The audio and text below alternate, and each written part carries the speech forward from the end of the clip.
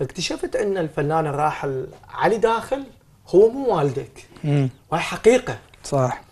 أه وفاة الفنان علي داخل أول ما سمعت بوفاته أقسم بالله ما فكرت بالناس ما فكرت بأي شخص بقد ما أنا فكرت بمصطفى.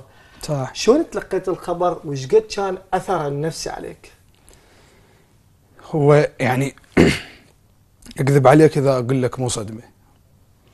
لأنه المرحوم الأستاذ علي داخل واحد من المدارس المهمة اللي تعلمت منها مو بس اني كل الشباب اللي كانوا وياه بالمسرح.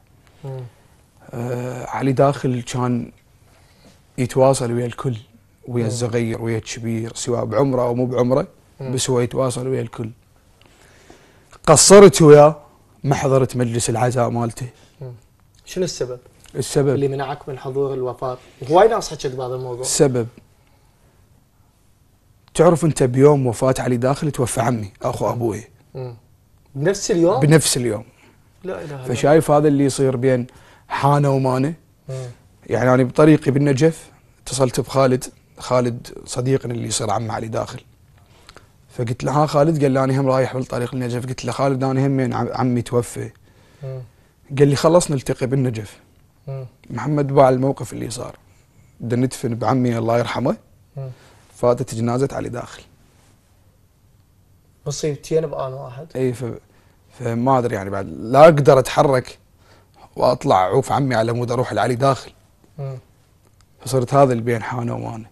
بعدها ورا ما خلصت الدفنة مال عمي قمت اتصل على خالد ما رد عليه. ورجعت للبيت. كانت كسرة بالنسبة لك؟ طبعا. قلت لك علي داخل أستاذ ومعلم ويحب الكل وما عنده أذية على أحد. واني قصرت لأنه ما حضرت مجلس عزاء بس عذري موجود والناس المقربين يدرون إنه أنا عمي توفى بنفس اليوم. مم. الله يرحمه والله يصبر عائلته هذا الانتقاد اللي سمعته أو العتب من من المقربين إليه أو من المحيطين ليش مصطفى؟ قررت لهم شوف لهم أنا مو؟ كنت منزل ستوريات مال النجف ومال الدفنه وهاي فاصدقائي اللي اللي قريبين علي أنا يعني شافوا. شافوا إنه أنا أيضا عندي فاتحة وعندي ميت. فعذروا. اللي ما شاف حقه يقول لك مصطفى داخل كان 24 ساعة وياه دائما بالمسرح. أنت تدري علي داخل عنده فضل ما أنساه يعني أبد. فترة من الفترات المسرح وأنا بدايتي ما عندي سيارة وهذا الرجل بشيبته بتاريخه بعطائه ينتظرني بالفلكه مال مال بيتنا على مود أجي ويجيبني للمسرح.